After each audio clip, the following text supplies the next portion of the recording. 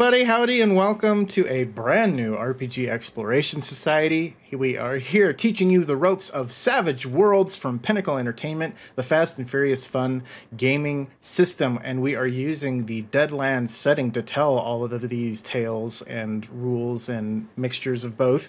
Uh, we have built some seriously fun characters with all of these fine folks. Uh, so check out the uh, previous the the first two episodes are all about character creation and some of the basic rules. And then last episode episode three we got into some gameplay and covered uh, quick encounters and uh, some other basic mechanics. So uh, if you're curious about any of that go check out our youtube. Um, more on that later and more on the giveaway that we have a little bit later. But right now let's go around and introduce my fellow society members who are joining me on this mission here. Hello, society members. Hello. Hi, Hello. dog. uh, let's start with uh, Gnome. Hello. Hi, my name is Gnome, pronouns he, him, and I am here to play Charlie Warren, uh, who is a prospector and it'll be my first time actually uh, throwing him in character. I'm I'm pretty stoked. I'm super eager. Awesome, awesome. Uh, and uh, I, I have to ask technically because we had this working beforehand. Your captions are not working now. Did you happen to minimize your Chrome window or something nope. to that effect? Nope. Okay, okay. I have touched nothing. Interesting. Well, okay, we're just going to have to keep moving along. Don't worry about it. I'm certainly not. I'm certainly not worried about it. Um, all right, continuing on. Let's talk to Nik. Hi, Nik. Hey, uh, I'm Nik. Pronouns they he. I'm bi_rogues. I'm here to play Denitki, my gunslinger. Uh, yeah, I'm very excited. It's going to be a fun time. Are my captions working? They no. are. Yes. They are. Oh. The good yeah, vibes it, are it, still there for me. it, it took a minute, but but they caught up to you and and they're there. So maybe maybe they'll come back for for you, Gnome, as well.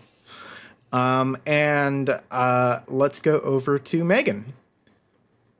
Hi, hi. I am Meghan, and uh, you. Uh, my pronouns are she/her, and I am playing Crystal Void, who is a witch. Um, and yeah, yeah, that's that's about all about her. She has some friends, a friend. Oh, here he is, Franklin. Um, yeah, indeed. I'm excited to uh, jump back in with uh, Crystal. Very cool. Uh, and uh, Noir is out uh, this evening, so um, uh, they will be back next week for our finale. Um, but uh, go definitely go check out the Noir Enigma everywhere on the socials um, because they're really cool. Uh, so yeah. Um, okay, with that out of the way. my name is Dom. I'm executive producer, showrunner here at Saving Throw Show. I will be the GM um, for this Savage Worlds Learn to Play. So, a little bit of housekeeping before we begin. Um, uh, there is a giveaway, and that giveaway is for a Savage Worlds starter pack, which is which was curated by yours truly, and features uh, a dice tray, an amazing dice tray by Norse Foundry.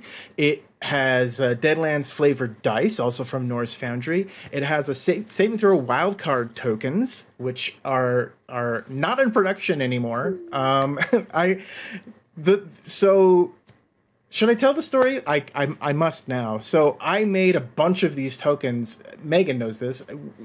We have we have hundreds of these tokens, and we were going to give them out at conventions, and then COVID happened, and now I've got a bunch of tokens. We've we've changed logos and everything since then. So, um, so now you can win some.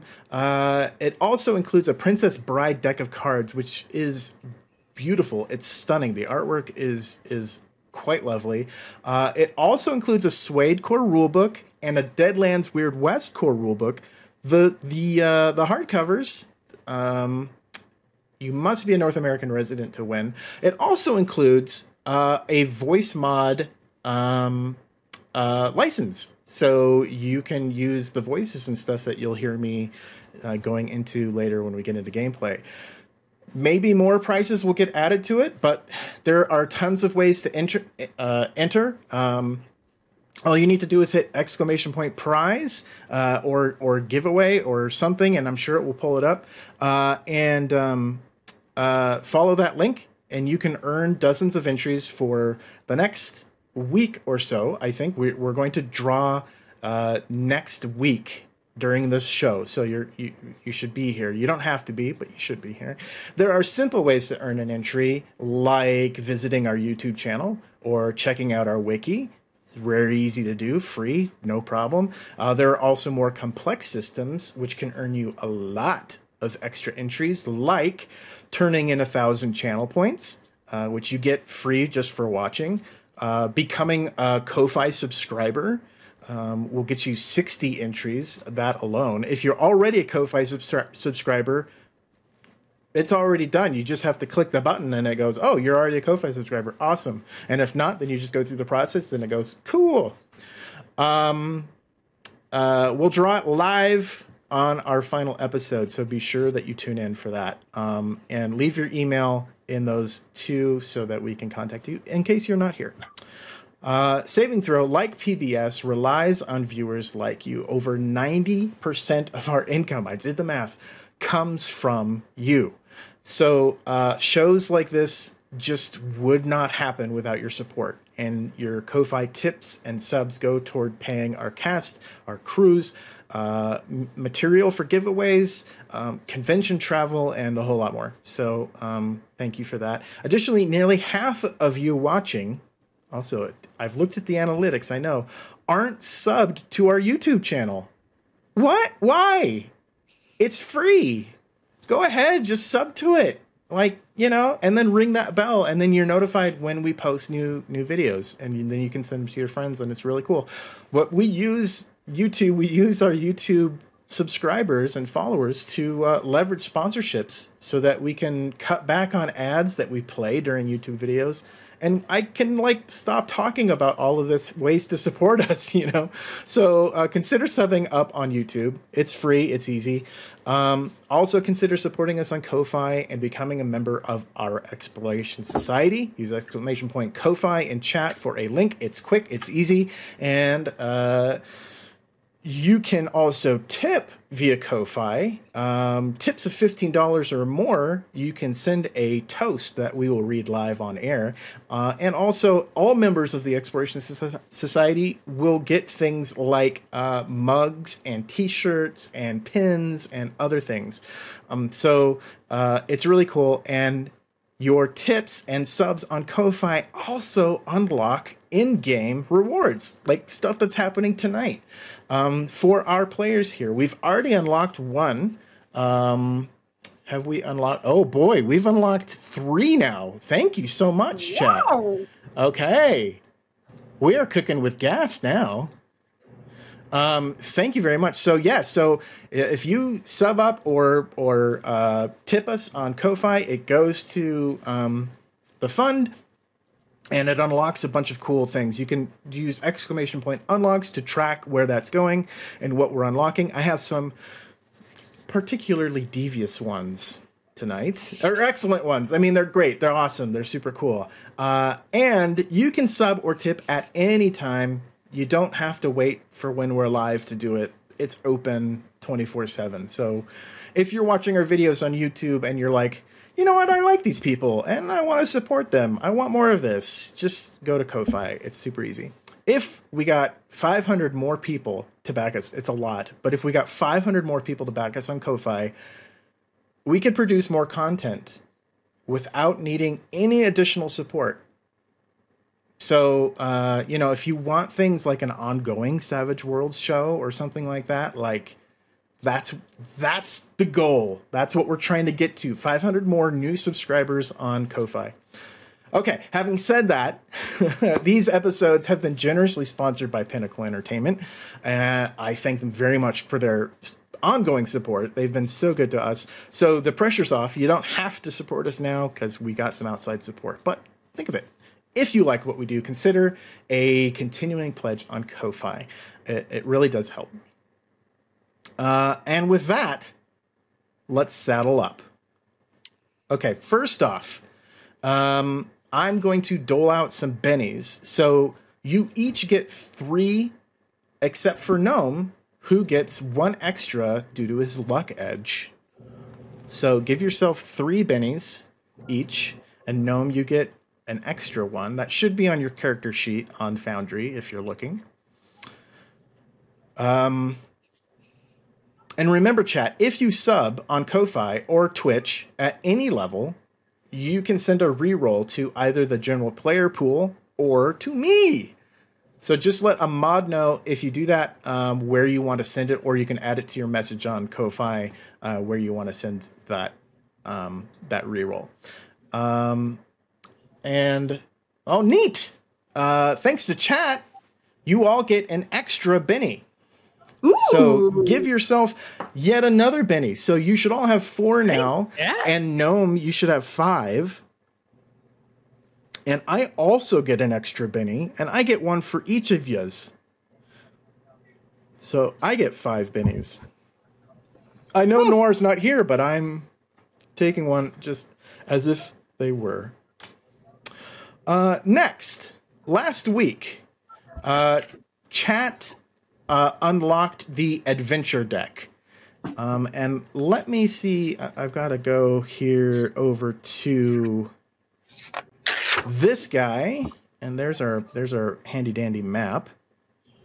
And if I go to my adventure deck, let's see, there it is. Okay.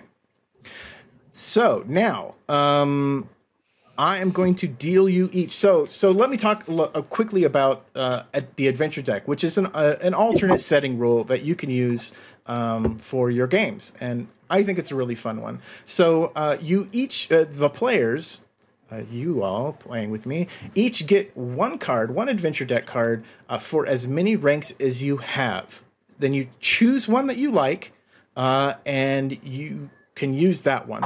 Uh, the other two are just discarded. You don't you don't get to use those. Okay, so just choose one, and then um, the other ones you don't get. Uh, now, chat also unlocked a super speedy advance for you all, so you're all veterans now. Thank you again, chat, for that. So that's three ranks. So you're each going to get th- three cards. Oh my gosh. Feel free to discuss amongst yourselves um, and let me know which one you choose. So here we go. I'm dealing you all.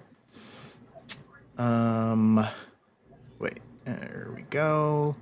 Meghan's hand and Noir. Okay. And you each get three. Okay. There you go. So if you, uh, those of you who are playing along in Foundry, if you click that link in the uh, in the chat, it should take you to your hand, and you should see what you've got. And uh, let's go around now, and um, why don't mm, gnome tell me what you got? Right. I got I think I got some good ones. I don't know. Maybe. They seem good. Uh Ace. I could play this card uh, instead of rolling to automatically succeed at a trait uh, roll with a single raise. Very cool. Uh, got That's nice. Bullseye. Uh, play after damage is rolled to double the total of a successful ranged attack. okay. Okay. and enemy play on an enemy wild card in the first round of combat you may not soak wounds from this from his attacks for the rest of this encounter i'm, I'm wearing old prescriptions, so I, I can't read, Oh no. read it well Do you want me to read it? I can read it if Uh, it's if it's yeah do you fine. mind Sure. Yeah. No. Yeah. No worries. so no worries. hard. Yeah. I totally know what that's like. Um. Look, cosplay okay yeah. Oh, it's so truthful. The verisimilitude. Um, play on an enemy wildcard in the first round of combat. You may not soak wounds from his attacks for the rest of this encounter, but you immediately draw three adventure cards and keep one of your choice. You may play another adventure card this session. That's not too shabby either. Uh, which one do you think you want to go with?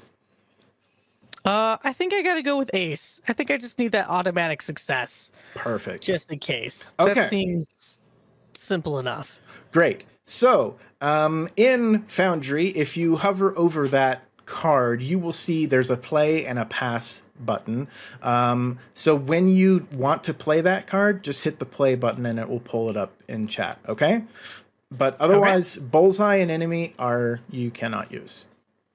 There, there isn't a, a handy. Maybe there is in in uh, that I I don't know, but I, I haven't found a way to discard adventure card uh, cards yet in uh, in Foundry. So I'm sure next week I'll figure that out.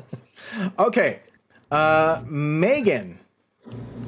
Yes. Uh, okay, I've got Adrenaline Surge, which is your hero gets to add, gets an additional and immediate turn, including new movement. Holy cow! Okay, Um, yeah. Uh, contact, your hero finds a friend or acquaintance who helps him in his current situation. okay, or- okay. Epiphany, which is something you never understood before, suddenly clicks. You gain a d6 in any skill you choose for the remainder of this game session. Okay, what are you thinking? I'm thinking either adrenaline surge or epiphany. Okay, okay. Um, an extra turn can be pretty helpful, it can. but epiphany can be great for in and out of combat. true, true. So I think I'll go epiphany. Okay. All right, Epiphany. So adrenaline surge and contact are off the table for you. Um, lastly, Nik, what do we have for you?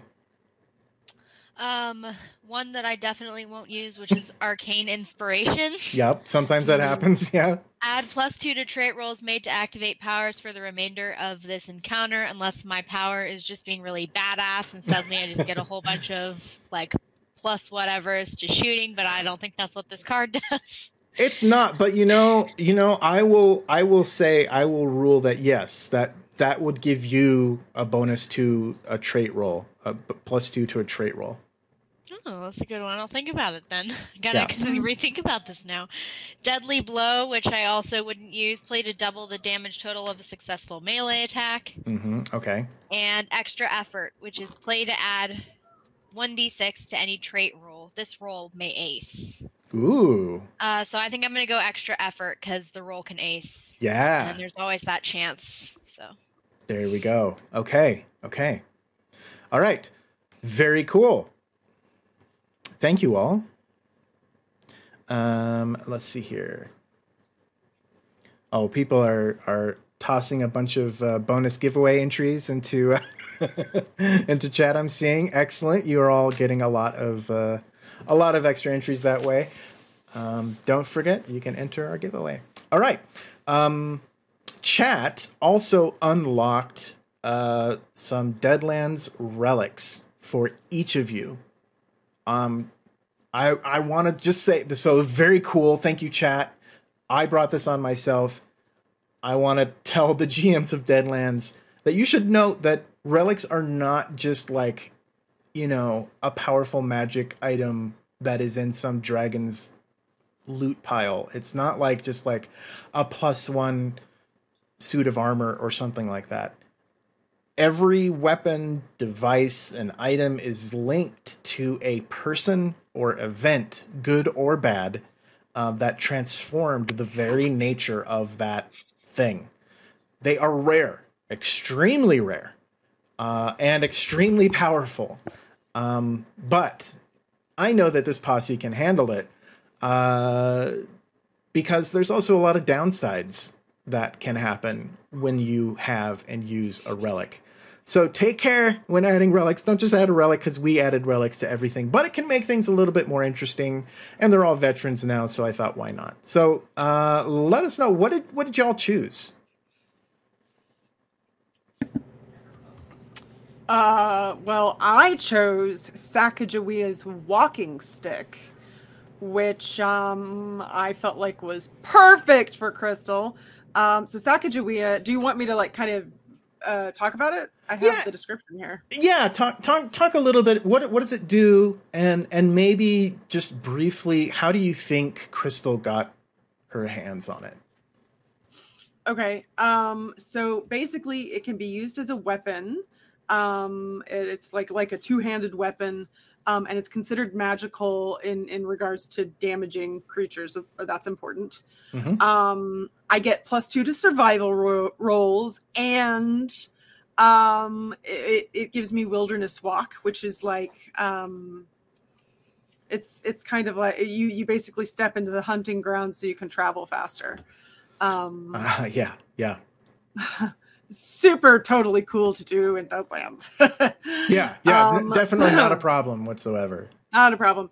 Uh, and then it has a taint since it is uh, a walking stick. Um, and for this one, it grants, it basically gives me the curious and the loyal hindrance. Uh, and then for each week that I travel with this walking stick, uh, I have to draw a card from the action deck on a face card. An abomination of some kind has caught the stick's arcane scent and starts hunting the owner. And then on a joker, the abomination is definitely intelligent and a wild card. So basically, oh, and taking the stick into the hunting grounds attracts unwanted attention from nature spirits and manitous alike. So it's really helpful. it is for me and you. Um, very cool, very cool. Well, we might yeah. we might play with that next week. Um, in terms of drawing the card, but uh, this week you just get you get a really cool walking stick. That's Sacagawea's walking stick, and you can use it however you like. Yeah. Um, cool, cool. Uh, Yeah, wa- oh. oh, yeah, and did you want me to how how um how Yeah, how you- came getting? yes. Um, I think that she probably took it from someone, but I don't know that she. I think she she registered that it was important, and uh, somehow, but I don't think she knew quite what she was getting. But I think she just kind of like. I think she stole it. Okay. Okay. Yeah. Yeah. yeah. So um interesting. So so people are looking for this. Um and and Probably. creatures creatures are probably looking for this. Okay. All right. Fair Oh, enough. show, yeah. Uh who would like to go next? I admittedly did not do this homework assignment. and I cannot what what page is this in the book? So this is this is in the uh, Weird West com- uh companion actually, right? Oh, oh. Yeah. That's why we don't have it. yes. Yeah, but I but but Oh I my- I Yeah. did se- I did send those pages to you on on Discord. Yeah. All right, let me go pull that up then. Yeah, no worries. No worries. I uh, took the eagle feather, Okay. Tell us um, about which, if I remember correctly, essentially makes you immune to fear. Uh, on the downside, uh, it makes you a target for um for people who basically want to put you through tests to determine that you're worthy to be holding the eagle feather. that. hmm And uh, backstory wise, I'm going to say that it's been passed down in her family, and um, it's it's obviously there are a lot of things that we get from our families that we don't truly understand the meaning behind, or to us, it's just a relic or an heirloom, but someone else will be like, that's worth more than that. So, Mm-hmm. uh, being hunted for it, I guess, or is the downside to it. But being unafraid is a uh, a big bonus, especially when you're impulsive. For sure. Yeah, yeah. You you don't have any fear. Um okay. Ha- uh, all right. So yeah, so it was handed down for you. That that makes total sense. All right. Um Gnomes had about 3 seconds to look at something like 15 pages of relics. Um Talk really slow for you, no? Yeah. um, if you want, Gnome, um, we could talk about you're uh, making your grandpappy's pickaxe into a relic. Uh, Um, yeah, I'm cool. I'm, that, that's what I'm kind of looking for. I'm like, ooh, is there like, I saw like a gravedigger's shovel. We could we could adapt There something. prospector's elixir. we could we could definitely adapt one of those things into your your pickaxe if you like. Um I'll let you I'll let you peruse, but know that you've got a relic coming and we're going to find out about Noir's relic also next week. So so there's no pressure for you to uh need to need to do that. But um let's go back to Foundry here. Um all right. Okay. Chat has unlocked a few uh, a few extra things for me to play with. Thank you very much, chat. I appreciate it. Um, wow. Okay. All right. We're three three unlocks down. We've got three unlocks to go. So if you are are feeling generous and and have money to spare, uh, please don't tip. If you don't, please use that money for food and shelter and things that you need. But we always appreciate um, uh, sending any anything our way. It it really does help, and we we supremely appreciate it.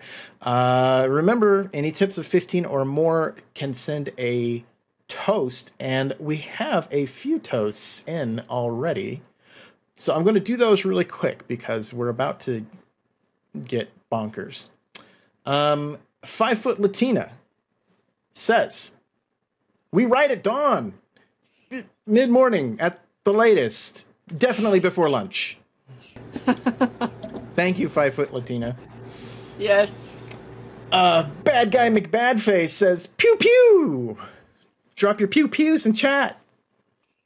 Uh, Neva and Omar say, "More Savage Worlds. We are campaigning for a campaign." Thank you so much. Very much appreciate it. Uh, so uh, uh, the, there was a question. Um, Hosokter asks how they do rerolls through Ko-Fi. Um, so if you're already a member of Ko-Fi, um, it, it doesn't let you do it easily. So you you have to kind of be a new sub to do it. Otherwise, you uh, tip fifteen dollars, and that will send a uh, and then you can send your message that way. So it, it only really works if you're subbing if you're subbing for the first time on there. So hope that explains that. Um, all right. Thank you very much for those tips. And back to the action here. Um, okay. Our party has advanced, and we touched a little bit on this last episode, uh, but I want to talk about it because they've advanced a lot since we last spoke. So, when we started last episode, all of y'all were novice, basically first rank, first advanced novice. Um, and uh, um, oh, really quick before you leave Civil Savage 88, I am using. You can't see it because they're green. That's cool. Um, but Civil Savage sent these awesome bennies with the saving throw logo on them, uh, and it's just gonna look like I'm not holding anything. Um, that yeah, it looks like I've got a hole in my head now. Uh, yeah, yeah, and Meghan's Meghan's got some too. Um, are those Gone Rogue uh, ones? You're muted. Oh, Harbingers. Oh, I've been talking this whole time. Yeah, I was like, I got some too. Yeah, they're Oh, harbingers nice. from Yes. from Civil Savage because he's so nice. Yeah. Thank you, Civil Savage, for these. I'm using them tonight. Uh, okay. Um, so last last we spoke, y'all were novice rank, um, and uh, you had not had an advance yet. Well, thank you to chat. You have um, advanced rapidly to veteran level. Doesn't happen like this usually, but let me explain kind of how ranks work. So there are five ranks in Savage Worlds. Different settings call them different things, but in general, they are novice, uh, seasoned, veteran, heroic, and legendary. You can think of these kind of like levels like in D&D, but it's a very basic sense uh, comparison. That between each rank are advances. Generally there are four advances per level, except for novice, where there are just three, because that first advance is literally your character creation. So you get everything that first that first level in uh, in novice, and then you have three more. And when you've done all that, then you become seasoned. Your next advance is seasoned. So when you advance, you can do one of five things. You can gain a new edge, but you must meet the requirements of the edge, including the rank and any skill or ability score level. Right. Uh, you can increase a skill that is equal to or greater than its linked attribute by one die type. You could instead increase two skills that are lower than their linked attributes by one die type each, including new skills that the character didn't have before uh, you can buy those essentially at a D4. Um, or you could increase one attribute by a die type, but you can only do this once per rank. So uh, after character creation, you can't. I there, there was some confusion last week by me about whether you could do this in novice. Um, you can do it in, in novice. You can use one of your advances to increase your uh, a ability score by one die type, but you can only do it once per rank. Um, or you could permanently remove a minor hindrance or reduce a major hindrance to a minor hindrance, if possible. Uh, now, as I mentioned, all of you lovely people in chat, you unlocked a basically super advancement for our heroes.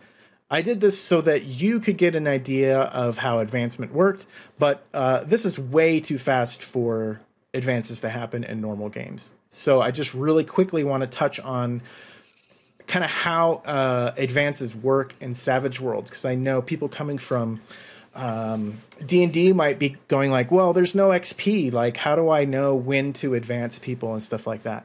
Um, uh, some handy tips. Base your advances partly on the content of your game and partly on the length of your game. Uh, if the party defeats like a big bad and uh, solves a, a, huge problem or um, uh, or or you know like I said de- defeat some somebody major to the plot or something like that that might be enough for an advance if you're playing weekly usually it makes sense to advance every three or four sessions. That's what we did in wildcards. We generally three or four sessions. Usually we would advance, um, but it was usually story driven.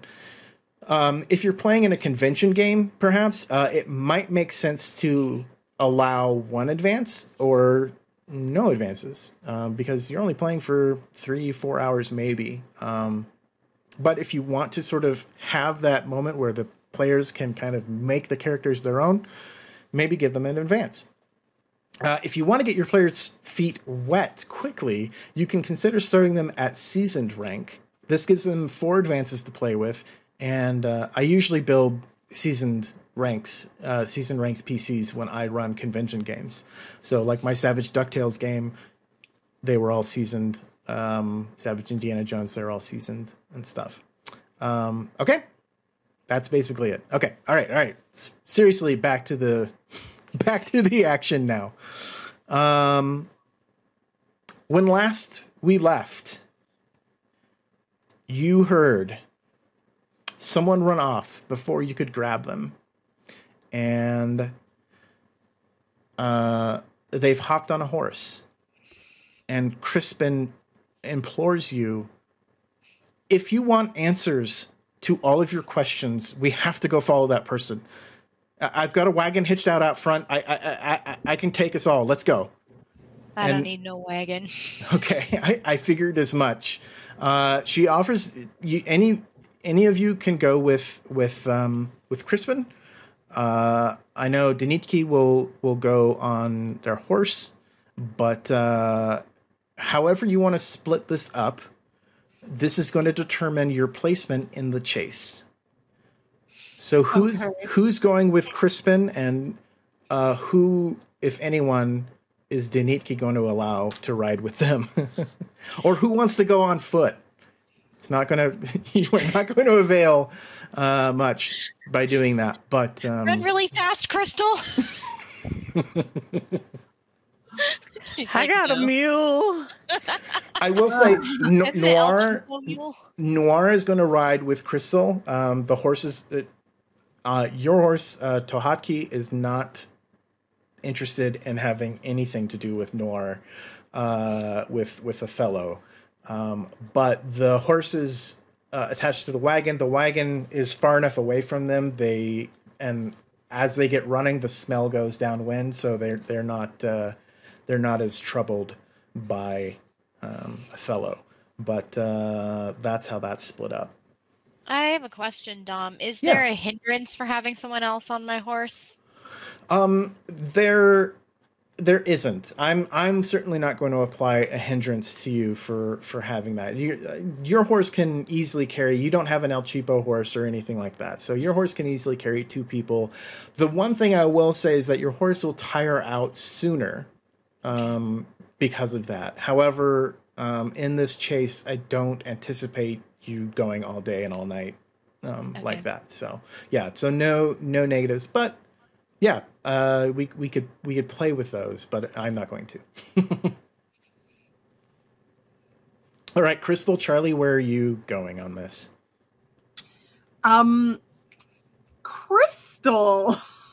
so, okay, here is my question for you, Dom, before I make this decision. With Yes. this walking stick, I have wilderness walk. Yes. And my thought is that she would use wilderness walk so she can do less work and just pop in in front of them and make them stop. However, I know we're running a chase and I don't want that to cause a problem for the chase. End of chase. Okay. Real quick with Wilderness Walk, um, uh, what does that? So you can just at will go into the hunting grounds. So it says, um, um hang on, I'm shorting, blah, blah, blah. After walking at least one mile in the wilderness, hang on, let me see where this says. Travels, shortening arduous treks and concealing his past. Shamans use this power to communicate with their allies, blah, blah, blah. Every three miles count as one, and the shaman's track leaves no trace. But you have to still activate it, and it only lasts for an hour. Okay.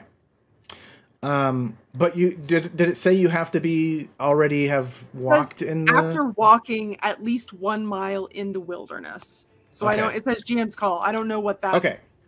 part means, but Easy, easy decision. You're not in the wilderness. great. yeah. Glad I asked. yeah. Um, um, yeah, uh, uh, chase is over. Thanks, Meghan. Um, great. so I hope you all learned how to do a chase. Uh, I, We're flanking. yeah, yeah, exactly, exactly. So you're way ahead, but we're not getting to you yet until um, we get to the end of the chase. Uh, I, I do want to send out a big thank you to uh, SalieriC.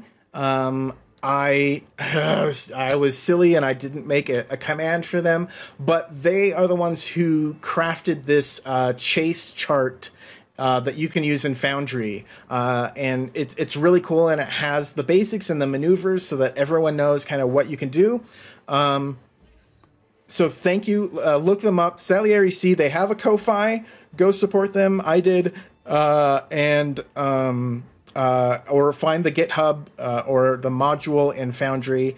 Um, it's it's it's really really helpful. So so check that out. Okay.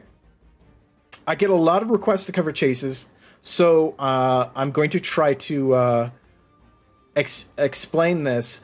Uh, I will also really quick um, because you are going with uh, Crispin and you all have agreed to kind of do in the, do this together. Crispin is now an ally, and real quick, allies are really simple to operate. The players you control uh, can and should control uh, your ally. Um, but they are a capricious lot because you are a capricious lot. Um, they only materialize if you've planned for them to, or I, the GM, says they're there. So take that into consideration. You can't just like be somewhere and then go like, "Oh, uh, Crispin's here too." Uh, that doesn't work. You have to announce that Crispin went with you, all that stuff. Uh, otherwise, they don't know what's going on. Uh, and it, it takes time for someone to help you and convince someone to help you, especially in the Weird West. But once you do, you have an ally for life. Um, and allies are considered extras for uh, edge purposes and all that, everything else, not wild cards. Uh, but they can advance and take edges themselves, provided they survive long enough to do that. So, Crispin is an ally. You can control Crispin. Uh, you can determine who wants to do Cr- Crispin's stuff on um, on your turn. Okay. Uh, all right. Um, so first, chases are a form of dramatic task where the distance between groups is dramatized and mechanized. First, you will shuffle an action deck, just your regular deck of cards. Uh, just note that you're going to need a separate deck later for actual actions during the chase.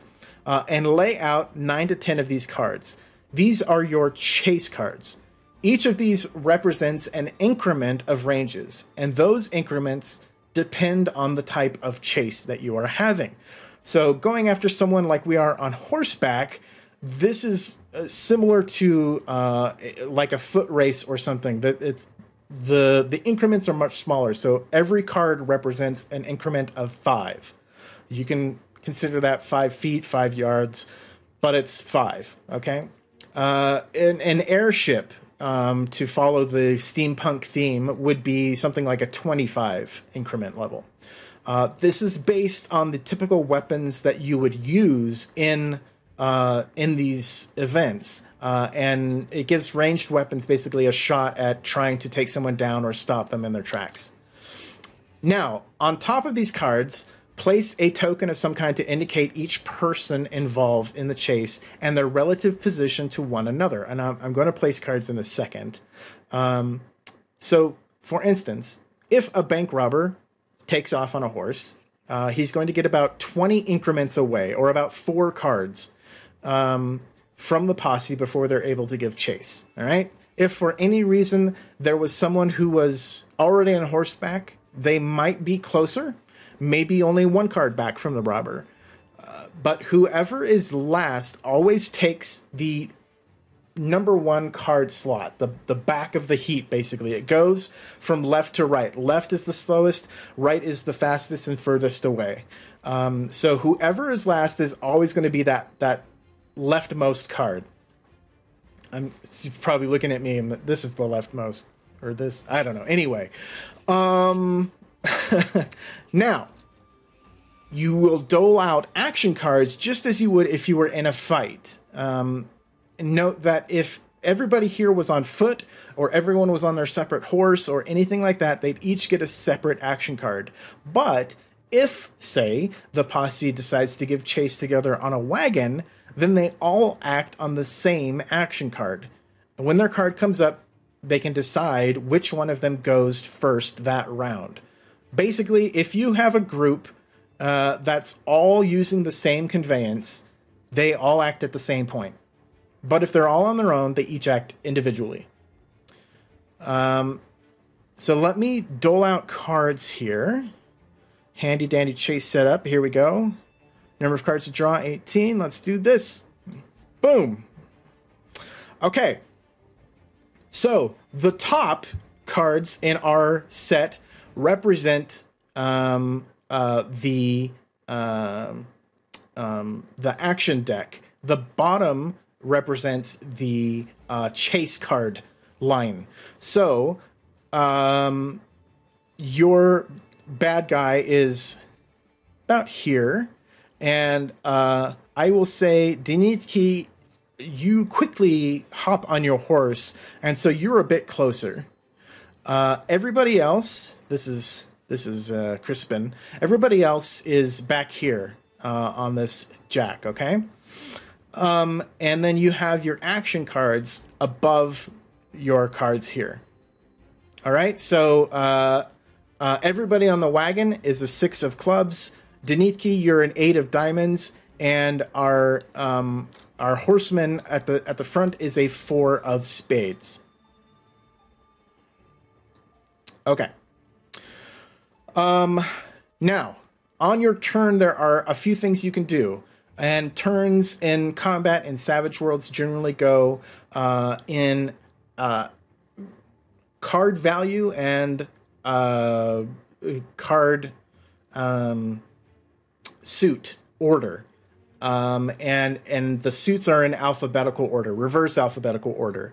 So, uh, oh man, trying to remember all of these things. So spades. Um, oh god, what are spades? Let's see, spades, clubs, hearts, and Diamonds. diamonds. Right. Okay. So spades first, hearts second, diamonds third, and clubs last. All right. And then in in order. So if you have a a five of spades and a five uh, and a four of spades, then the five of spades would go first, and then the four of spades. Okay. Um, so in in the order that we have here, uh, Denitki, you will go first because you are a no. The spades the spades will go first. Um, wait, am I doing that right? I'm not doing that right, am I? I think it's What are you trying? No, it's the number. The number is first, and then Yeah. and and then the the suit. Sorry, sorry. Yeah, yeah. it's it's been a minute. So the number goes first. So Denitki, you are first. Then it's everybody in the wagon, and then it's the horseman. So eight, six, four. Okay. Um, but there are some funky things that I do need to mention. Um, on your turn, you can do um, a, a- few things. You can attempt to board, which is basically jumping onto a vessel. If you wanted to jump from your the wagon onto the guy's horse, you can try to do that. Um, the only thing is, in a foot race, you obviously can't do that. You could jump on his back, but you know that's not really the intent. Um, but uh, yeah, so you can try to board. Um, you can try to change positions. This is uh, basically moving up is a free action. Um, uh, so moving up is a free action, but if you choose to spend an action, you gain plus two on your roll. So, um, so you can change positions. Doesn't cost you anything. But if you want to commit it to an action economy, you get a plus two on that roll. Okay, so basically you're focusing 100% on moving forward. Um, dropping back is a free action. Uh, you can't drop back beyond the end of the, the line, essentially. Uh, roll the requisite maneuvering skill. So if you were running, for instance, you'd roll athletics. If you're on horseback or on a wagon, you'd roll riding. Uh, in a car or tank, you'd roll driving. In a boat, you'd roll boating. But when was that ever going to come up? Oh, it will. It will come up.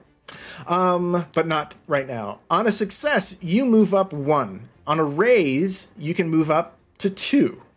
If you're faster than the fastest rival, like if you have the fleet footed or free runner edges, which none of you do, uh, you can add up to plus two depending on how much faster you are. Okay. Um, and by faster, I mean your pace level essentially is is faster. Um, evade. Uh, melee and ranged attacks against you are at a minus two until the start of that vehicle or person's next turn, including anyone on the same vehicle. Okay, so Crispin's got the cart and decides to do an evade maneuver. Then all of you on that cart, anyone who tries to attack you will be, at a minus two. Um, there's the flee action. If you have at least four chase cards between you and a pursuer, you can make a maneuvering roll to escape. This roll is made at a minus four. It's a minus two if you have at least five cards between you, and a zero if there are at least six cards behind you. You're just basically so far ahead, it's no problem to to lose your pursuer. Um, there's the force action. You can attempt to force someone off their vehicle or into an obstacle. It's again, it's opposed maneuver rolls. If the attacker wins, they bump the other one. And bumps are basically they move an opponent one chase card in either direction. So you could move them back towards you, or you can move them forward. So you could like use this as a push to get someone a little bit further ahead if you want to. It's not just about pulling people back. Um, you could use other skills to put obstacles in the path. Um, oh, I should say, uh, a raise on the on the action uh, is treated as if the opponent rolled a critical failure. Okay. You can use other skills to put obstacles in the path, like maybe shooting down a um, a load of crates from a crane that smashes in front of the person trying to run away and prevents them from getting out. But a crit failure here means that they likely block your way instead. So if you crit fail using a different skill for this force, it, it's going to be bad for you. Uh, you can hold steady. You ignore any unsteady or running penalties. But in essence, you are vulnerable and attacks against you are at a plus two. But uh, a note that this doesn't stack with the vulnerable condition.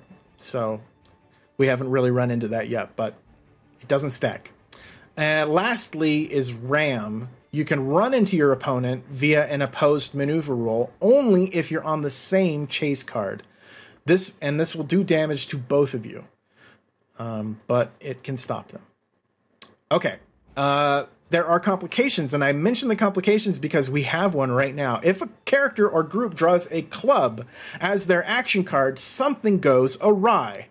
The chase card determines any modifier to the roll on the complications table. Thought that might happen. Yeah.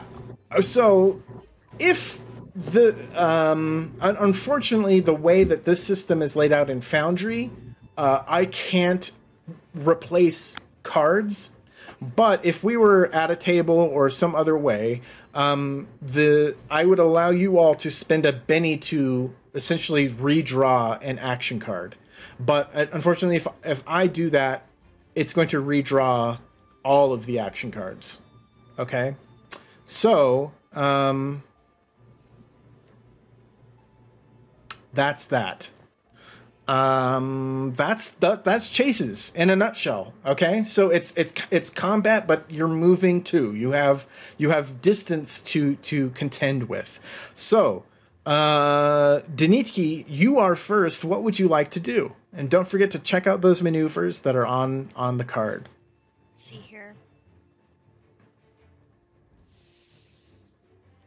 Um, uh, I would like to move up closer to him. Um, okay, so you want to do a um, uh, you want to change position basically. Yeah. Are you uh, committing this to be your action, or um, or do you want to do something else on your turn, like try and shoot him?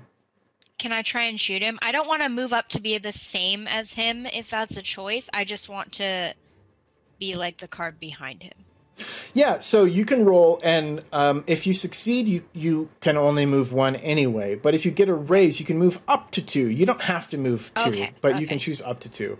Um, so uh, um, so if you're doing this as a free action, then uh, make a riding roll for me, and you don't get a you don't get a bonus to this.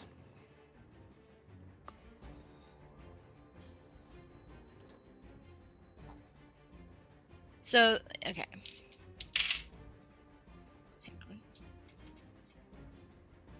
This is with the. What do you mean by no bonus? You mean like there's no plus two? Because There's, no plus two because it's because it's a free action. You're not you're not committing this to an action because you want Uh, to shoot too. eight. Eight. Okay, great. So that is a success with a raise. So you can move up to two if you like. Um, I can do that and shoot him. Yes. I would like to do that. Okay. So you are now on the same card as them, and uh, you want to shoot them. So uh, give me a shooting roll. Okay, let's see here. Oh, that's even. Let's see. It's after all of those um, uh, that progression we did. I'm like, oh wow, th- these are big dice, as opposed to what I was rolling before.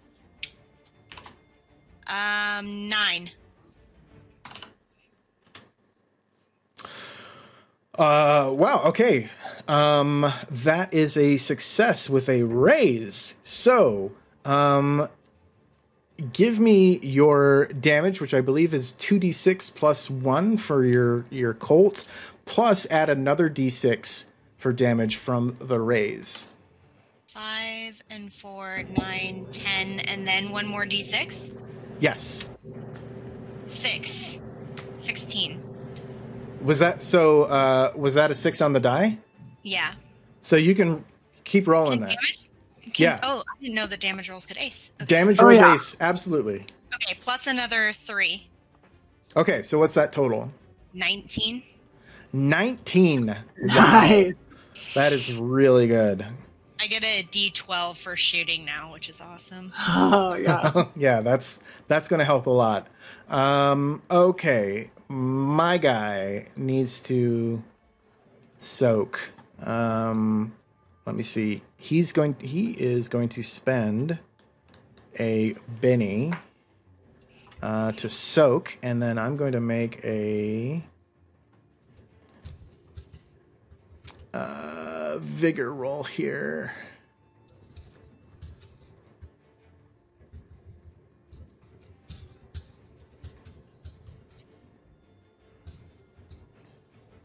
I'm going to roll one more time because he's actually a wild card. Okay, he rolled a five. So let's see. That you rolled a 19. Yeah. Okay. so that is. Let's see. Let's see. That is a success with a raise. With a raise. With a raise.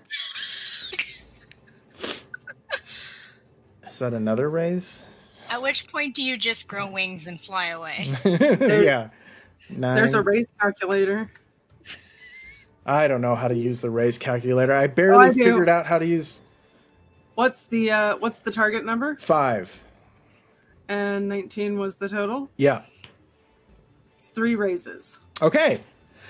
Okay, so um that's three raises. So you have shaken and wounded. He would have three wounds. However, uh, he has uh, soaked one of those, so he's only got two. Um, so he's still up, still riding, but ooh, you you're you like pulled up right next to him and just drew and shot, and it just like went right into his gut. And you see him, and he his eyes are bloodshot and wide, and you see what looks like probably tears kind of streaming down his face, but his eyes are open and the whites are completely surrounding his his pupils. So he just has this kind of crazed look on his face, uh, and he looks kind of like a kid, honestly. And um, you just do a gut shot, and and he like screams, but he keeps riding as hard as he can. Yeah, I like to think that I rode up just right next to him and just point blank shot him without saying anything.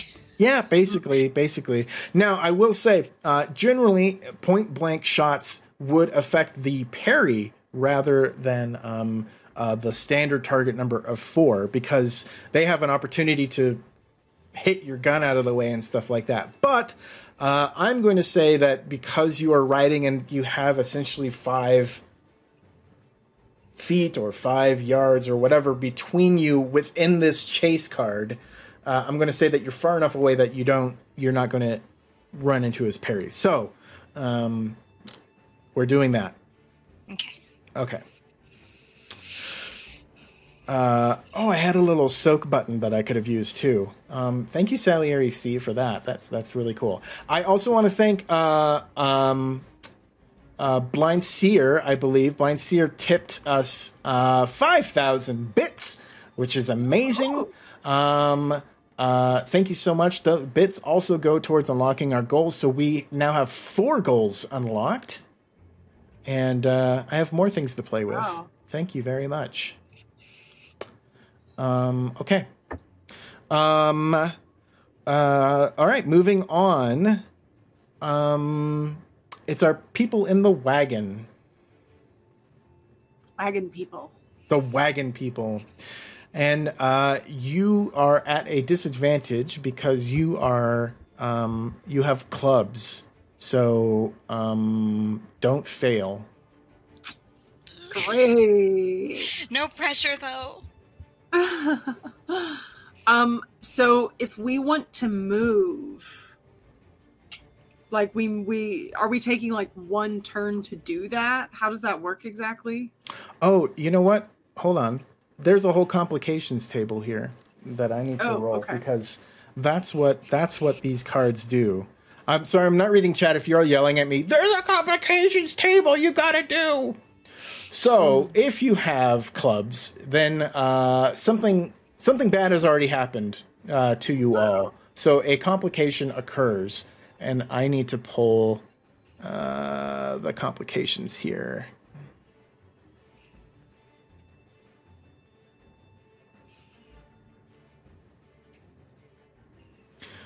Um. No, chat, you are very awesome. None of you said that. I know our chat. I, I I always do that, and our chat's like, "What? What the hell? We've never ever." backseat game you. Yeah. Thank you. Thank you. Because we have repeatedly said, "Don't backseat game," and you have listened, and I appreciate that. Okay. Um. All right. Complications. A character faces a complication if his action card is a club. On his turn, he must make a maneuvering roll as a free action. The suit on his current chase card, not his action card, determines any modifier to the maneuvering roll and the results of failure. Okay, so who is going to make this maneuvering roll? Oh, You I can see, you can Okay. you can dictate um, that it be Crispin, your ally, if you wish. Uh, I mean, it's basically going to be a trait roll. Is that right? It's it's it's a riding. It's going to be a riding roll. It's, going to be a riding roll. Yeah. Okay. Yeah, I shouldn't make that roll. I mean, it's yes, it's a maneuvering roll, and and uh, to because it's uh, so this is probably going to be Crispin. All right, so Okay. I, I'm just going to roll for Crispin, um, and you are the card you are on is a spade, so um, uh, then that means that. All right. So the modifier when you have a spade is you basically treat it as a critical failure on a maneuvering roll. So you have an automatic critical failure. So Crispin just right out of the gate um, uh, snaps the reins and the horses start running and you see Denitki just run straight out and just um, hop onto hotkey and and is gone. And um, am I pronouncing that right? The the horse's name? Tahatka, yeah. Tahatka. Tahatka. And uh, yeah, they're gone, and um, you see gunfire go off and stuff, but uh, they're they're still cruising out. Crispin, on the other hand, Oh, no. goes like this, and the horses just stay put, and they're not moving. Come on, you old bags, get going! Get come on! Why aren't you going? Th- the- this is why you don't ever trust a horse. Can I jump off and go ride my mule? You can, yes. Well, Gary's so reliable. And Crispin forgot to release the emergency brake. Yeah. so yeah, Charlie, you've got a mule, um, uh, and uh, you can hop on your mule. What's your mule's name? It's Gary. Gary. Gary the mule. Um, will Gary meet Canary? I don't know. Uh, Gary the mule. Yeah. So you hop on Gary. Okay. Um, unfortunately, Gary can only hold one person, um, especially uh, you, Charlie. Um, that's that's I'm a lot of a person, to be honest. that's all that's all that's all Gary can can handle. Um, but it handles you very well. Uh, so Crystal and Othello, you are kind of stuck on the wagon right now. It's not going anywhere, but you you can still do things um, uh, even though you're you're far away. Okay. Mm. Um. I mean, I'm not going to be able to catch them on foot. Uh, so it seems like the best thing to do here would be to try to get the horses to go. Can I can I try and see if um mm, what do I have? Yeah, if I can use something to get them moving. Um, sure. Yeah. Yeah. Okay. Um, I will. Use your spider legs. Scare them. Scare them. yeah, I know. I'm like the only thing I can think of is scaring them, but that doesn't seem like the best idea. Um, yeah, she's gonna get off uh, and kind of go over and and and go up to the horses and and start talking to them and kind of looking at all of their uh, just everything, the ropes and things that are on them, and um, yeah, she's gonna try to essentially slap the back of one of them and see if she can get them going. Okay. So you're you're hopping off the wagon to do this? Yeah, Oh yeah. God, what if they leave you behind? I know. Okay. She she wasn't thinking it through there, but uh, okay. Um uh what do you want to roll for this? that's a good question. Um, I guess athletics. You know what? I what? don't know that I I'm I'm going to have you roll persuasion. Okay, You're trying to Oh, that's persuade the horses to go. I am. I like. I don't think it makes sense for you to like you know, I don't know, slapping them I don't know. Yeah. Okay. Come on, horse. Uh. Ooh, I aced it. Nice. That's what I needed. Yeah, that was a six. Uh fantastic. Okay, so yeah, you you slap the horse and go what do you say to them? Uh, uh, um, I, I probably just slap them and go, get out! And, and kind of screech at them. And then if they go, she tries to, she probably puts two and two together and tries to grab onto the cart. Okay, yeah. Um, they start to move slowly, but they're moving now. Um, Okay. Very good. Come on, Franklin. Very good. Yeah. Uh, okay. Uh, Charlie. Yeah. Ready? You've you've uh, you've hopped on Gary. I'm going to give you that as a free action. Um, Oh, thanks. but uh, what what would you what would you like to do? You are now on Gary. You have you have several maneuvers that you can do. yeah, Um, Gary, gotta giddy out. Let's go. Gotta move. All right. So you want to change position. Uh, Yes. Do you want to make this an action or is it your free action? Do you want to do something else this turn? Oh no, I just this is gonna be my action. I'm really far behind. Okay. Give me a riding roll at a plus two. Oh boy. All right, let's see. Uh, riding roll, riding, riding. There we go. Riding plus two. By the way, this music provided by Zach Heyde. This is our wildcards action music. Go, Gary, go. All right.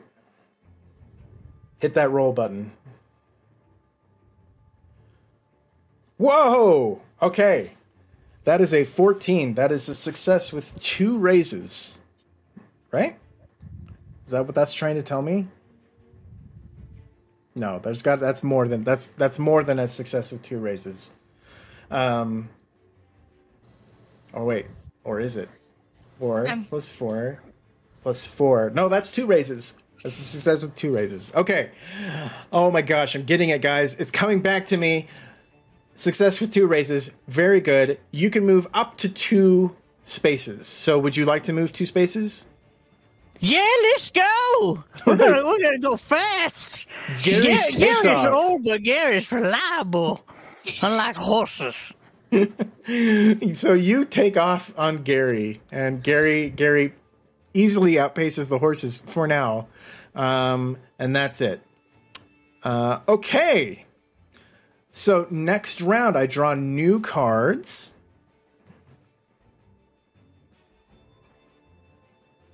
And uh, everybody gets. There's basically going to be new cards for your um, for the chase cards, and new cards for the action cards ahead of you. Wait, it didn't change anything, did it? No. Doesn't look like it did. I hear it. Like I hear card noises. It changed two of them. Okay.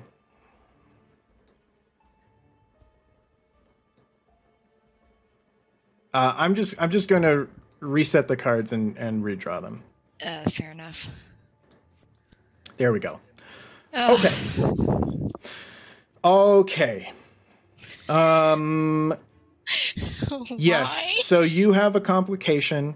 Uh, so let's see. It is going. Uh, um, the back of the heap is going to go first, then Charlie, then um, guy on horse who actually didn't have a turn. I realize now. Um, let me let me let me do a riding roll for them really quick.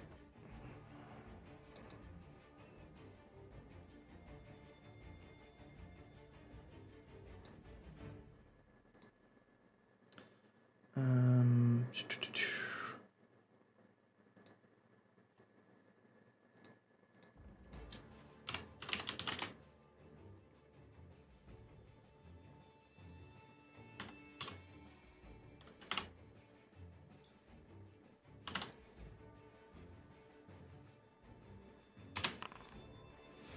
That's not good.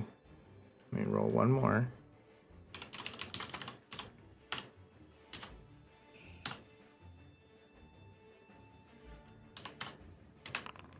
Oh, so he got three on both die. So, um, not moving forward at all. So they stay. They stay at at that level. They stay at that distance. Uh, okay. Um, all right.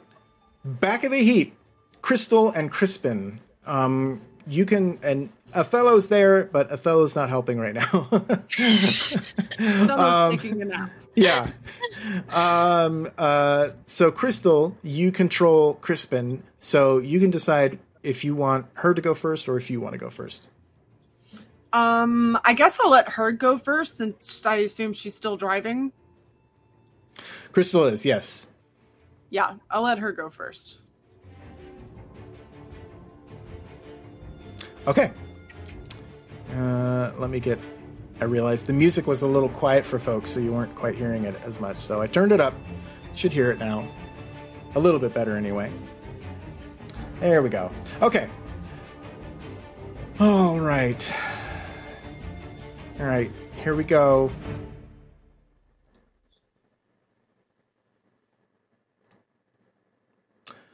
That's a success. So uh, she got a six. So she is moving one up. So you're all moving one up. Okay. Oh, actually, no, she got a success with a raise because that's all she's doing on her action. So you are actually moving two up. There we go. Okay.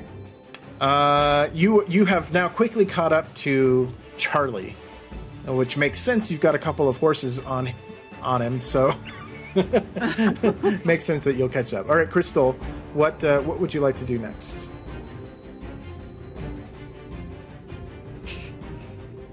Oh, You should still be Oh. there. What? Oh no, wait. Suddenly, I- I, don't. I don't see. Yeah. Where's Gnome? Where's Gnome? Oh, weird. Where's Gnome? I mean, I can. I You can. can- You can hear see. you. I can't. I can't hear or see, which means that they are Oh. not not in the uh, in the overlay. That's weird. Did you did you all run Run over? over with the wagon. Ah. oh no. Um. So Should uh, have spent the money on a horse. Gnome, if you can hear me, um, try logging out and then back in again. Hang, hang up and come back in again. There we go. There we go. That that was weird. Dom, you Uh. weird for me. Huh, that's weird. the I- music was just too hardcore. Yeah, yeah. I upped the music and suddenly it kicked it kicked Gnome out. I was like, ah, I'm fine. Okay. Um. Uh. All right, Crystal, you are up. Okay. Um, let's see. I guess. I mean, I heard gunshots, so my thought is we're attacking. I'm a little hesitant to attack though with uh, Crispin here in the cart. Um,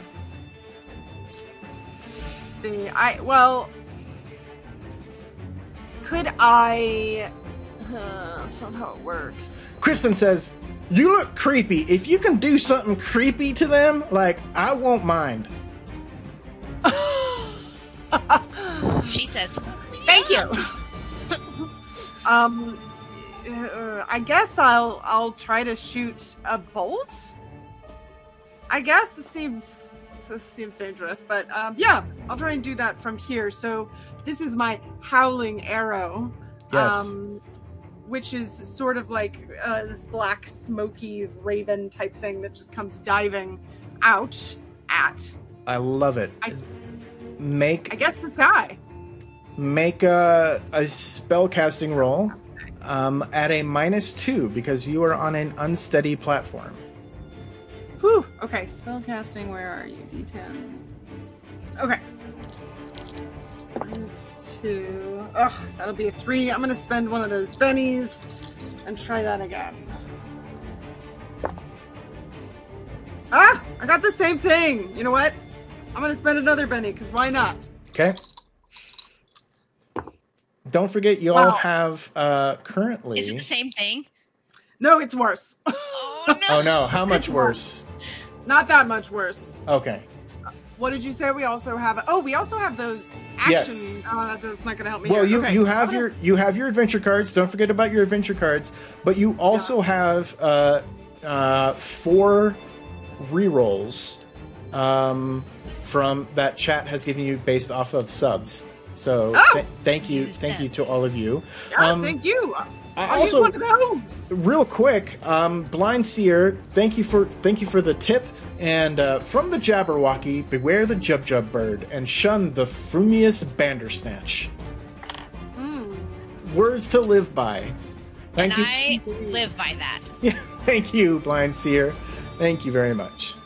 All right, I got it. so Five. I did you it. got a five. Okay, excellent. Roll me damage.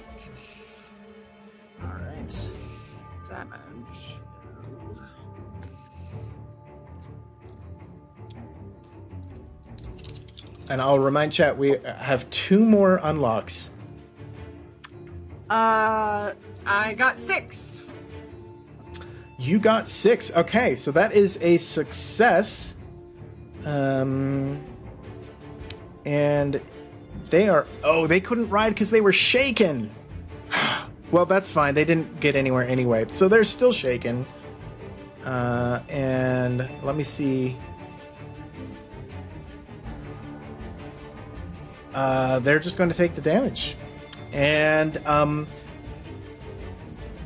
they fall off their horse. And perfect timing. Uh, we um Is the chase over? Do I not have to deal with the negative consequences of You having don't- clubs? so you don't have to deal with the negative consequences. So chases are over uh, in general. Um, chases are over when the uh, pursuer has either caught up to the um, person that they are tracking, or the uh, the one being pursued has escaped. Um, in this instance, you have taken out this, this person. They have fallen off their horse, so they can no longer advance. So the chase is over. So, uh, very well done. Um, congratulations. You didn't even have to walk in the wilderness. to do it. Um, fantastic. Okay, so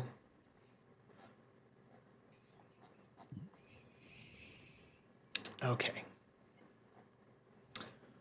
Um, so uh, yeah, you you stop and Crispin kind of pulls pulls the reins and yells "Whoa!" and the, the horses kind of slow down, and uh, she she stops the wagon, jumps out, and ties it around a tree. You all kind of look around to where you are, and and Charlie starts com- comes trotting up on Gary, just a little bit after everybody else, but but Gary made it. Gary made it. Um, and uh, uh, you kind of um look around, and you're surrounded by rock face by by tall cliffs. The woods are basically kind of behind you. These are the woods that were surrounding the town. So you you were riding out through town uh, and then once you got out of town you got right into the forest essentially. This is this is um, untamed utah.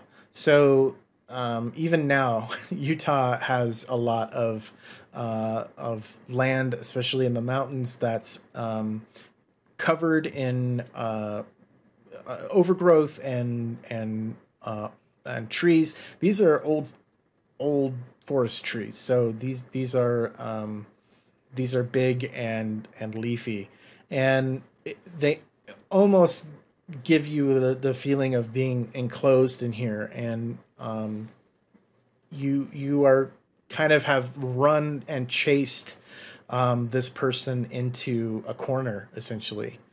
Um, and um, Crispin uh, runs up and looks at him and I, I know I know him. This is a this is Denton James. He's he's he's, he's just a kid. He's uh he's a I don't know. He's like eighteen or something. He's he's from Gumption. Okay. And uh and you look at him and um he has like this kind of sandy blonde um wispy hair and a baby face. Um but his eyes, those eyes are piercing and he is screaming in agony and um, it seems like he's screaming not just because you shot him, Denitki, but um, he's he's just it's it's a primal scream that's coming out of him. Um, and he starts kind of frothing at the mouth, and he looks at each of you and and just says, "He is coming. He is coming." And as he says that, he starts turning red and the veins are popping out and his eyes or his skin goes from red to a purple and the the froth at his mouth is just filling up and going down his sides and falling on the ground. And he's bleeding out of this gut wound and he looks at each of you one more time and then his eyes roll back in his head and he collapses. Yes franklin i do think he's dead. I, I don't know that he is necessarily but but he looks dead. He looks dead i can't see him i can't see him anyway anyway. I think he's dead. I think you have to turn Franklin around. So he can see. franklin you're looking the wrong way. Oh, oh right right over here uh, yes. Yes. Yes definitely dead definitely dead. Um yeah. He's definitely dead. Well um what uh what what do we think any of that was about i mean crispin it was you who uh, told us to go after him and now he's unfortunately dead and he's given us a very dark warning. Oh, yeah. Well, I didn't think it was gonna go this far, but uh, yeah. I mean, I know him, uh, just like an, an acquaintance level, I suppose. But um, he uh, he was maybe eighteen, and he thought he would strike it rich in the mines near here, and I don't know. His family is uh, his his old Gumption family. They they've been here for a long time, and they're all miners, but all unsuccessfully. Uh, Denton, on the other hand, was sure that uh, uh, he'd he'd find the mother lode of some kind. I I, I don't know. One day, Denton came to town and he was like boasting to high heaven that he had, fa- had found something so significant that Hellstromme himself would look on in envy. He convinced some others to go join him, and uh, they all headed back to work the mine. And uh, I don't know, weeks, maybe a month went by, and then only Denton came back. And it was weird, but you know, most of those miners were drifters that had come into town. We we thought they had just left and there wasn't anything to work. But uh,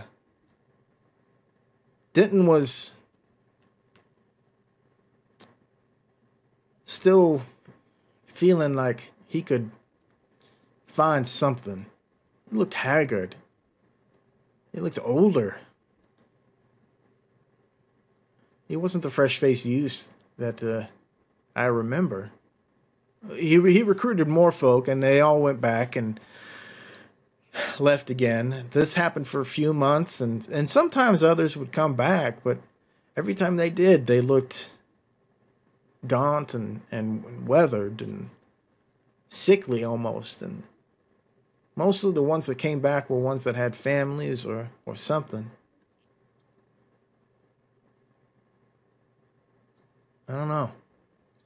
Now, I'm no seer or shaman or nothing like that. But I'm going to guess that it may not be riches that your boy found in those mines. Mm. I would quite agree with that assessment. Yes. Um,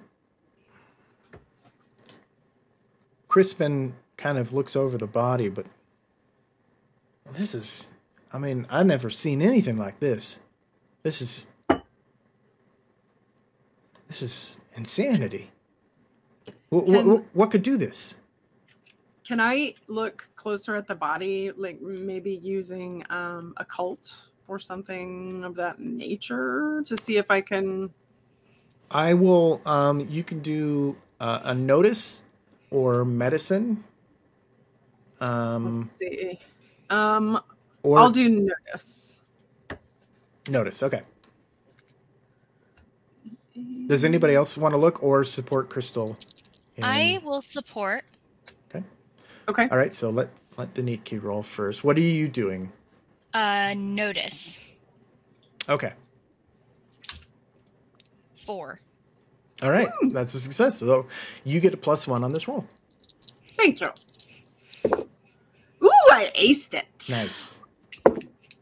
Yes.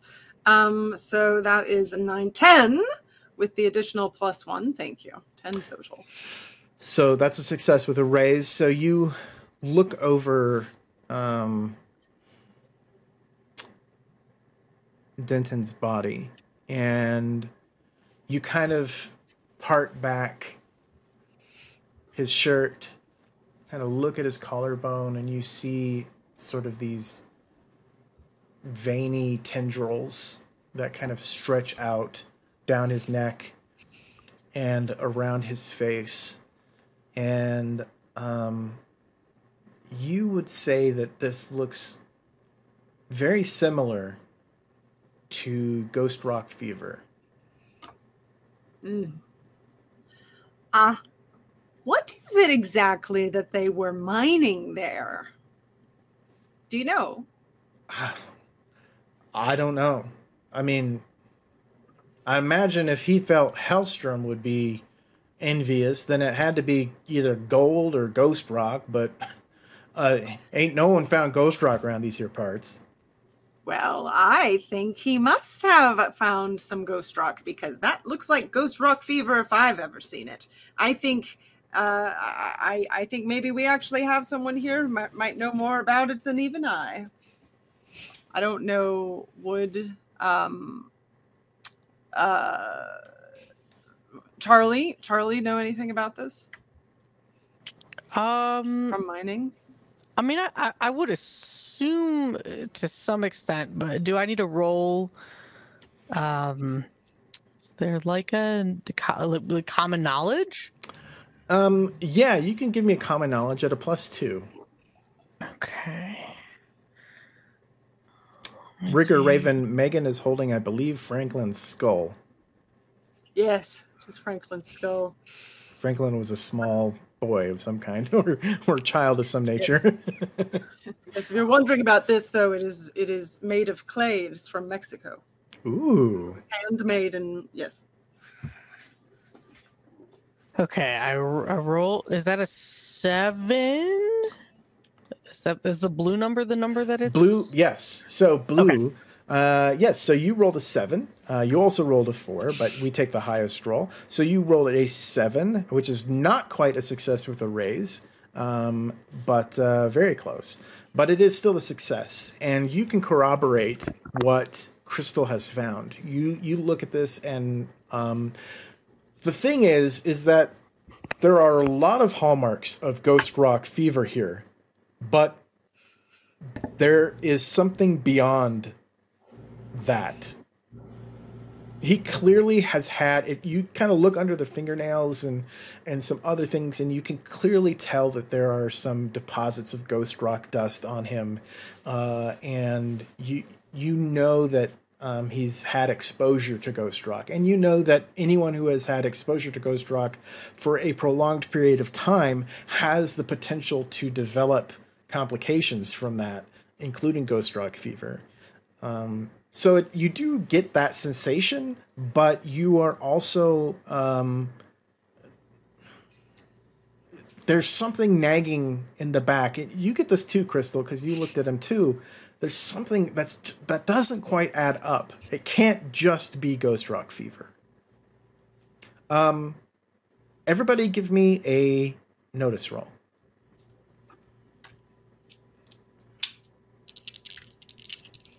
Five. seven. one. Eesh. That's a two. You got a two. Oh, I got a two. Okay. Yeah, the one that's crossed out is the one that's not being Gotcha, used. gotcha, gotcha. gotcha. Yeah. Um. Uh, okay. Five and seven were our successes. Okay. Uh. So. Um. Anybody want to re-roll? You can re-roll. Don't forget, you can re-roll. You might get better, or you might get much, much worse. Hmm. I don't know. I f- I'm feeling pretty good about a seven. It would be hard for me to get better. I have a D6 and I rolled a five. I mean, you can. You you. There's two dice that you roll, and if you ace them, Uh, oh yeah, I can turn a Benny, right? yeah, you can spend a Benny. You can And spend a Benny. little- I got a D8. yeah. Yeah, if you want, Okay, do- so are you spending one of your own bennies, or are you taking Yeah, one I'll from spend the one of my own. I got like five of them, so we're, we're good Great. here. Yes, you are lucky. Okay, how about a nine? There you go. That's what it raised. That's a success with a raise. Okay, so all of you um, hear a twig snap behind you, and um, Charlie, you uh, wheel around first and um, are able to catch the glimpse of um, something shiny that looks like a pickaxe coming out of the woods. And um, you see one person slowly walk out of the woods. And they have a pickaxe in their hand. And they have this kind of sallow, grayish skin um, that looks both dusty and decayed. As they walk out, you hear more and more and more come out of the woods and they there's probably around 20 of them and they all have their eyes fixed on Crispin. And you hear uh Charlie because you got the raise you see ev- all of you see these people come out but Charlie you also hear something behind you at this kind of wall that you, you you're kind of surrounded by three sides by basically sheer cliff face. And then you have the the forest on the fourth side that is um uh you've got a bunch of people um walking out of the forest now blocking your way. Charlie you spin around and you hear the telltale sign of rocks falling and you look behind you and before your eyes the rocks appear to um, split apart and pebbles and gravel kind of fall off and you see an opening that leads into a cave uh, open uh, into the rock fi- the rock wall Well, now I can't say I've ever seen something like that before.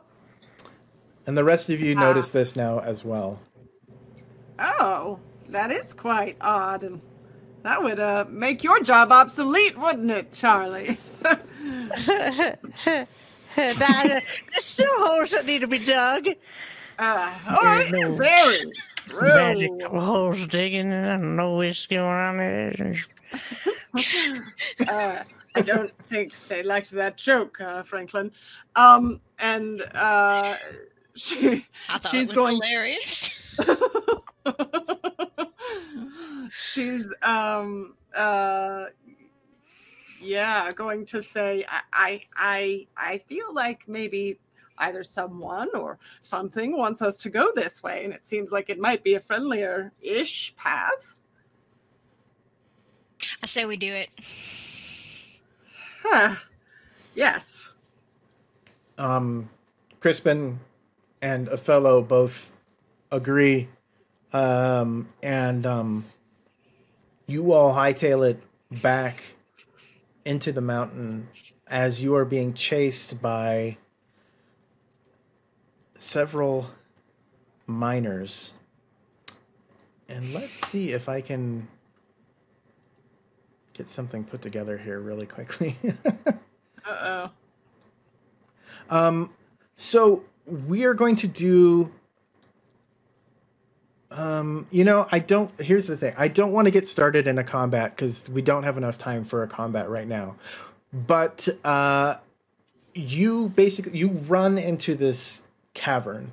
Um, however, you are they are still advancing. They don't seem to be stopping, and um, several of them have sort of broken out from the pack and are um, basically upon you. So when we come in next session, our final session, we will be starting a combat. Uh, and um, but you will be in the cave, so you're not going to be fighting 20 at once. Uh, you will be fighting um, however many made it through. Uh, so that's what we're going to do, and we will end it there for the night. Um, but yeah, I want to open it up because this is a learn to play, and we were learning along with you all uh, both how how to run uh, chases and and and uh, encounters. Uh, but we also did advancements and, and other things. So uh, I am curious if you all who are watching or you all at the table, the virtual table, um, have any questions about uh, about the the show. And thank you, Adventures of Tony, for your for your sub.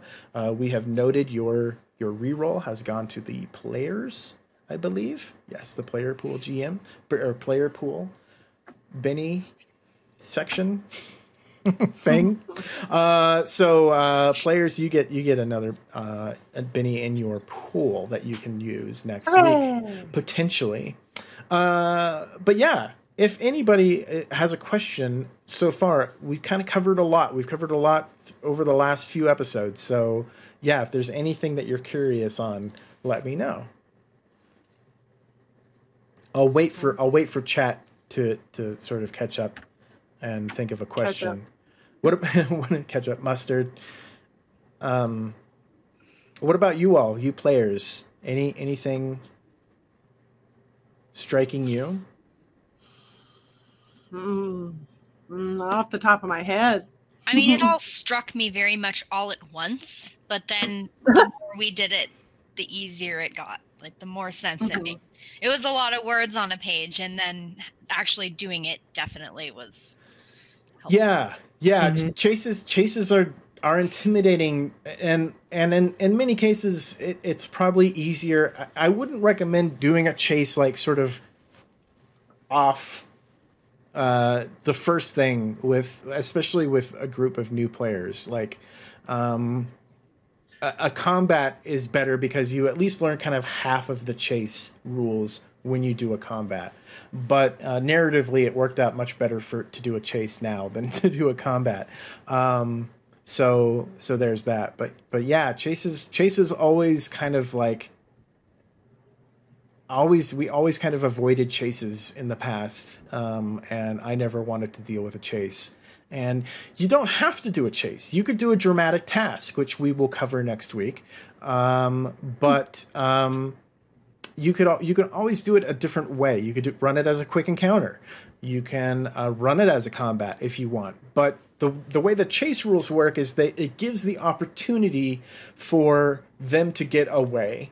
And um, and it gives you the, the the distance and plays with that distance as you go rather than with a combat like you're if if you're trying to run it as a combat you're constantly having to think okay how far away am i? Can i hit them with my you know fist? Can i punch them? Can i kick them?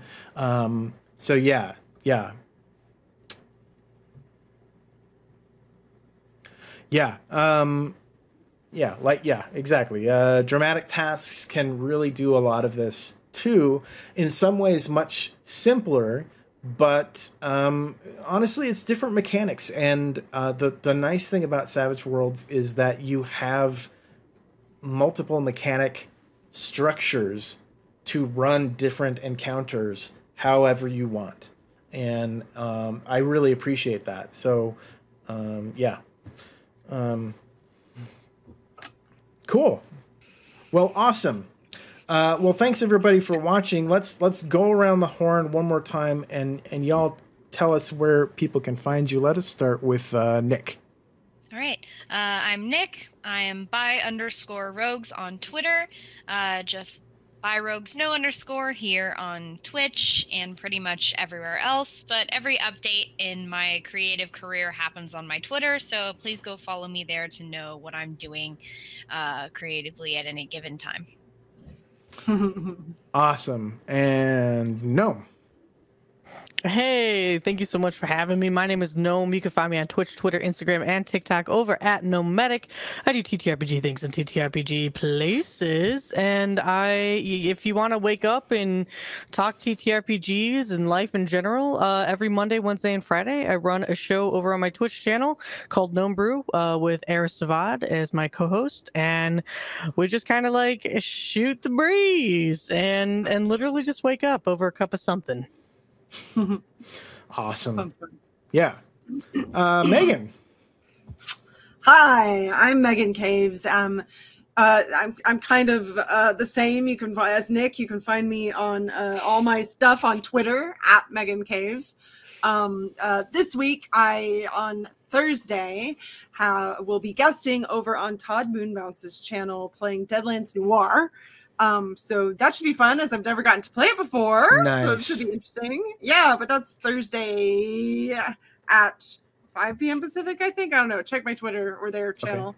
Um, and then Friday, Ladies of D and D. uh, No, Ladies of Lake starts at uh, Ladies of D and D. It's Lasers and Liches D and D. It's basically a 1980s rock band finds themselves in Arthurian fantasy. So um, it should be interesting. The cast is a group of people that I know and will probably be nuts. Um, so yeah, that starts on Friday. Ladies of D and D is where that is. Um, yeah, beyond that, you can find my um, my production company, Gone Rogue Entertainment, at Gone Rogue ENT, um, where I just finished up Harbingers and we'll be on to chapter three next. So I think that's yeah, that's that's the gist. That's I guess. Today. That's super exciting. Very cool. Very cool. And yeah. Uh, yeah, you can find me at Gadzook on Twitter or at dom.zook on Instagram. Uh, you can also find Saving Throw Show everywhere at Saving Throw Show. Um, literally TikTok. There's we haven't posted anything. Um, uh, but Instagram, Twitter, whatever. It's mostly for me to look at RPG TikToks. Um, uh, yeah, go just definitely check out our our YouTube and um, if if you like and catch up on all the things that that we had. Um, I'm gonna do a a little stinger. Uh oh. As you are in the cave and you begin fending yourselves off. Um, a voice fills the air, which is thick with a a almost decaying stench. And you Hear this fill your ears as you fight. You're in my home now, and you best be preparing to die.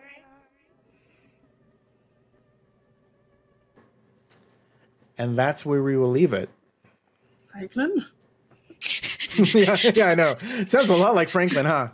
Franklin, have you not introduced us to your friends? I'm a little offended. I don't know who that was. I'm crying. I have a family.